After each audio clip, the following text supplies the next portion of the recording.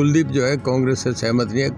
कुलदीप को भजनलाल जी का बेटा, उसके कद में नहीं रखा जा रहा, उसे नीचा करेंगे, कैसे रहेगा? देखिए, दोनों सीट, एक तो क्लियर है ही हमारी जो बीजेपी का कैंडिडेट लड़ रहे हैं, वो तो कृष्ण पवार, वो तो जीते जीतेंगे, दूसरी सीट भी हम अच्छे वोटों से जीते।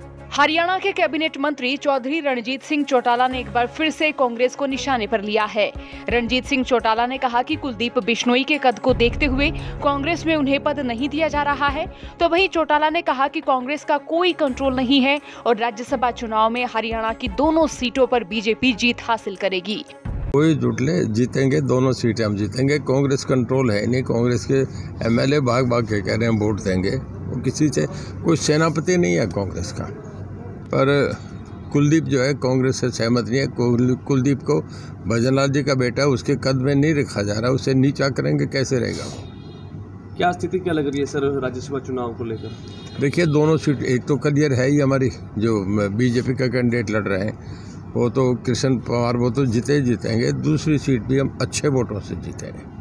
निकाय चुनाव भी सर सरगर्मियाँ बढ़ गई हैं क्या कहेंगे? क्या स्थिति रहने वाली निकाय चुनाव में जीतेंगे जी हर जगह हमारी मेजोरिटी आएगी।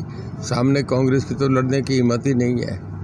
और हर जगह बीजेपी बहुमत से जीतेगी चाहे वो मेयर के चुनाव में चाहे म्यूनसिपैलिटी के। गठबंधन के प्रत्याशियों का सहमति होगी है दोनों गठबंधन हाँ पार्टियों का फैसला जो हो जाए कभी भी कुछ हो सकता है उन्होंने कर दिया। सब सहमत है कोई असहमति होती नहीं तो पार्टी फैसला कर लेती है। चौटाला साहब ने तो बीजेपी उम्मीदवार कृष्ण पवार की राज्यसभा चुनाव में जीत का दावा ठोक दिया है। इसके साथ ही निकाय चुनाव में जीत हासिल करने की भी बात कही है। खैर, कौन जीतता है? किसके हाथ निराशा आती है? या फिर किसे मिलती है खुशी? ये तो देखने वाली बात है, क्योंकि जीत के दावे तो हर पार्टी ही कर रही है।